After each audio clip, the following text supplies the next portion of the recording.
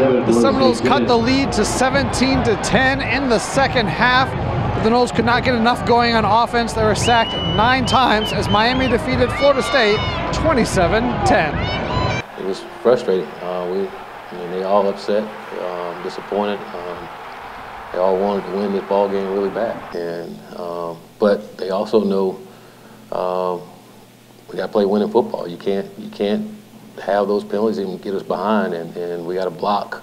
You know, we got to um, be where we're supposed to be. If you got the middle third, you got to be there. You know, um, and then we got to do a better job as coaches to make sure our guys are in the right place and and, and um, the right place to make plays. Yeah, you definitely want to win these ones, um, and we didn't. We weren't able to uh, to win it. We came up short, um, and it's definitely not what you want.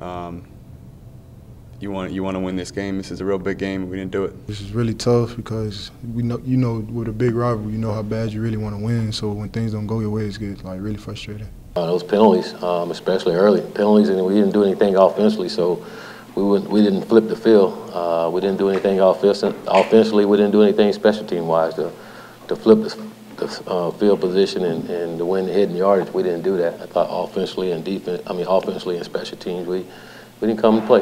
Your head's in the right place. You just sometimes you just got to give them an extra push, and that's why certain guys like Marvin Wilson, Hamsah Nasirildeen, and myself, like I think that's where we step in as teammates to give that extra push.